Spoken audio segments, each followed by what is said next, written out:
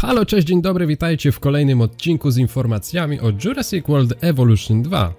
Pierwszy odcinek po urlopie z dużą dawką energii i bardzo dobrze, że ta energia jest, bo mam o czym wam opowiadać w tym odcinku.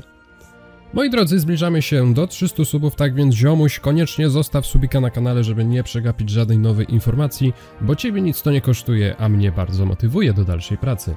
Bez zbędnego przedłużenia intro i lecimy z materiałem. Zapraszam.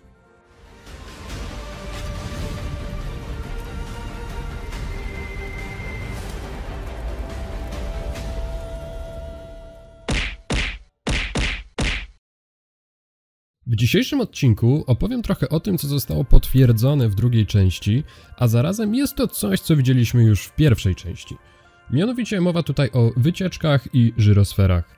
Wszystko to znów będziemy mogli zobaczyć, a ich mechanika będzie dokładnie taka sama jak w jedynce z kilkoma dużymi różnicami. No to w sumie wychodzi na to, że nie będzie taka sama.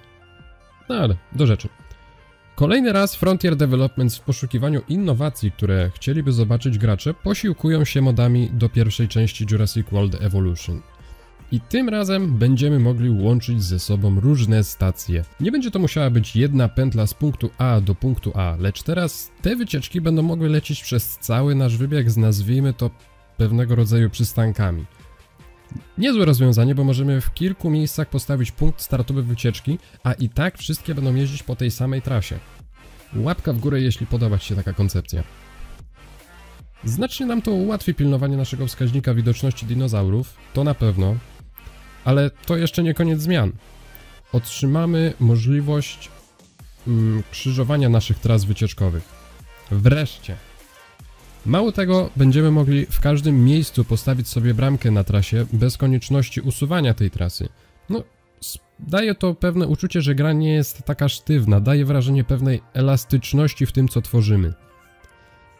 Kolejną nowością jest to, że wszystkie wycieczki będą mogły przechodzić przez ptaszarnię.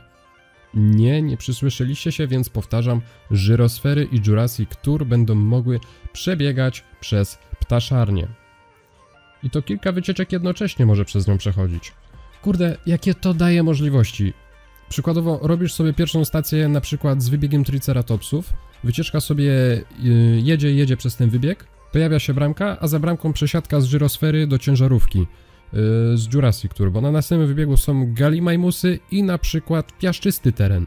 No po prostu wow. Mus cross... Frontier Developments, dziękuję. Immersja. Immersja to jest to, co w grach lubię najbardziej. Niby wydawałoby się, że wycieczka, no jak wycieczka, ale pomyślcie, jakie można teraz będzie tworzyć trasy. Ale to jeszcze wciąż nie koniec. Zostanie dodane coś takiego jak stacje fotograficzne, czyli coś takiego, znaczy będą robione zdjęcia gościom, jak są w trasie na tle dinozaurów. Taka pamiątka z podróży. My nie będziemy mieli wglądu do tych zdjęć, ale myślę, że będą one miały pewien wpływ na zadowolenie naszych gości, tak więc lepiej stawiać te punkty fotograficzne w miejscach, gdzie dinozaury przybywają najczęściej. E, pojawia się tylko pytanie, gdzie, skoro nie będzie paśników nie wiem, może przy wodopojach, czy w jakichś takich bardzo newralgicznych miejscach, no bo jednak ma być bardzo podobno rozbudowany system ten terytorialny dinozaurów. No, czas pokaże. Po raz kolejny rzeczy z jedynki mocno zaktualizowane. Niby te same, ale jednak znacznie lepsze. Mega zmiany i oby to wyglądało tak dobrze, jak aktualnie ja to widzę w swojej głowie. Nasuwa mi się jeszcze jedno pytanie, czy skoro ścieżki wycieczek mogą się krzyżować, to czy to oznacza, że mogą się one również krzyżować z chodnikami dla gości na terenie parku? Frontier, błagam, proszę.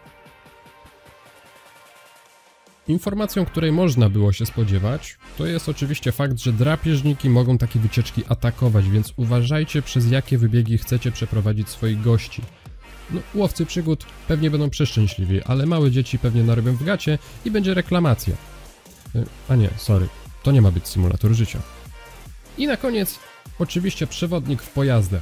Jeśli lubiłeś wsiadać do samochodu Jurassic Tour i bawić się w gościa, to ponownie będziesz mógł posłuchać, na jakim wybiegu aktualnie się znajdujesz lub jaki gatunek aktualnie mijasz.